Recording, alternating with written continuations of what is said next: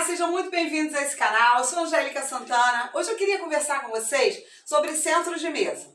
Você não é obrigada a ter um centro de mesa. Hoje em dia, os designers de interiores, eles já estão abolindo um pouquinho essa ideia. Você pode usar diversas coisas. Antigamente, tinha que ser aquele arranjo no meio da mesa. Se você tiver uma mesa retangular ou quadrada, que ela fique no canto da sua parede, você não precisa centralizar o arranjo. Você pode colocar no cantinho.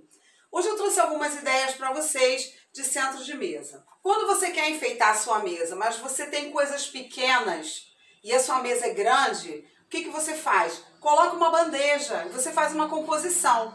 Olha, essa aqui é uma ideia que eu quero dar para vocês de uma decoração rústica ou farmhouse. Não tem nada a ver com a minha mesa. Minha mesa é estilo clássico, né? É uma mesa mais antiga.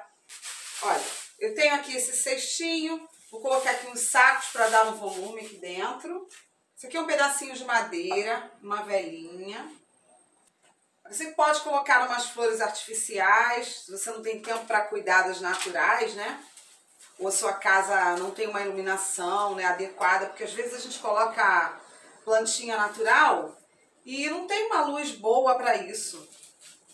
Elas ficam feias, elas morrem. Se você quiser, você ainda pode colocar aqui mais um vasinho de suculentas. Olha. Tá aí uma ideia. Ainda dentro da mesma ideia, nós podemos fazer algumas alterações.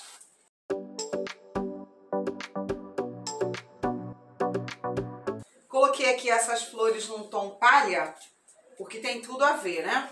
Eu vou tirar aqui o verde um pouquinho. Colocar essa vela aqui nesse tom porque aí dá mais uma cor. Olha, temos aí uma outra composição rústica. Agora vamos mudar. Vamos para o estilo que eu mais gosto. Eu tenho aqui esse vasinho dourado que eu acho ele uma graça. Mas ele é pequeno, tá vendo? É nessa hora que a bandeja entra, porque tá super sem graça. Um arranjo perdido no meio da mesa, né? Ó, tem o vídeo dessa bandeja lá no meu canal, gente, se vocês quiserem. Podemos colocar aqui, ó, um candelabro para dar uma certa altura. E fica uma composição bem bonitinha. Eu gosto bastante, me agrada muito isso aqui. Você pode pegar também uma plantinha natural.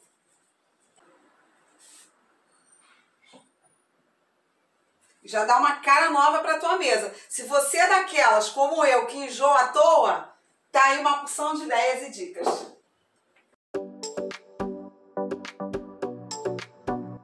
Tem uma compoteira na sua casa? Coloca umas balas, uns bombons e põe na mesa, faz uma composição. Fica bem legal. Mais uma ideia centro de mesa no estilo rústico aí para vocês.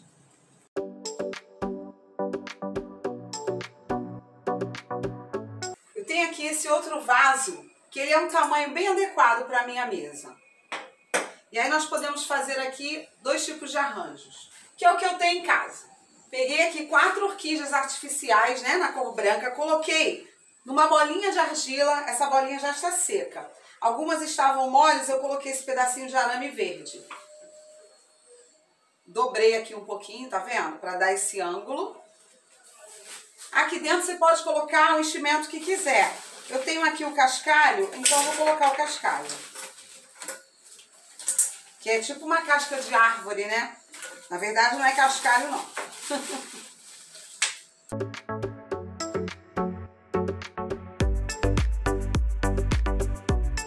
e eu completo aqui o que está faltando com as folhagens da própria orquídea.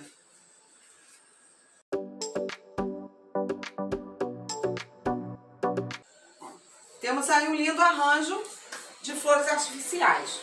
Se você ainda quer dar um toque mais legal ainda nesse arranjo, você pode colocar uma outra bandeja aqui embaixo, ó.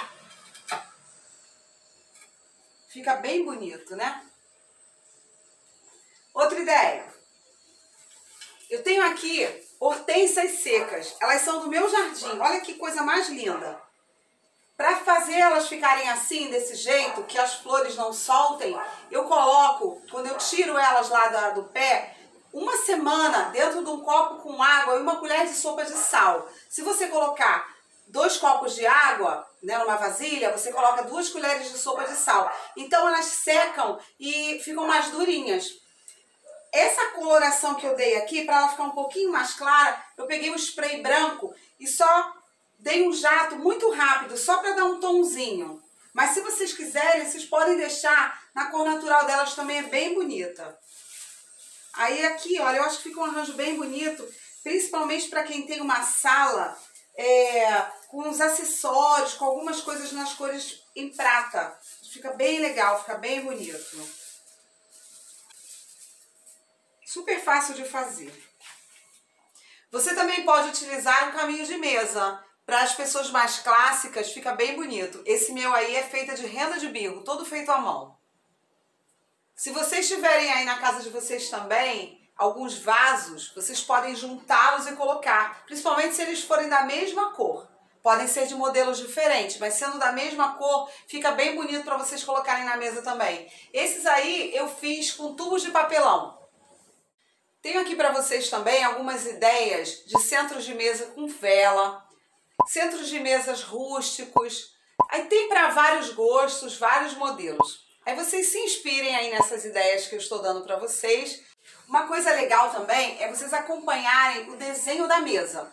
Se for uma mesa retangular, uma mesa oval como a minha, vocês podem usar arranjos mais compridos, fica bem bonito. Uma mesa arredondada, esse arranjo aqui fica bem legal também, eu gosto bastante. Outra coisa também que eu acho legal é vocês acompanharem as cores. Se a casa de vocês é uma casa neutra, em tons claros, você pode estar colocando vermelho, uma cor bem vibrante. Ou também se você é daquelas como eu, begenta, que adora um bege, coloca tudo em tons pastéis que está valendo. O importante é a tua casa ficar do teu jeito, do teu gosto, da forma que você quiser. Tá bom, queridos? Muito obrigada por terem ficado comigo até aqui.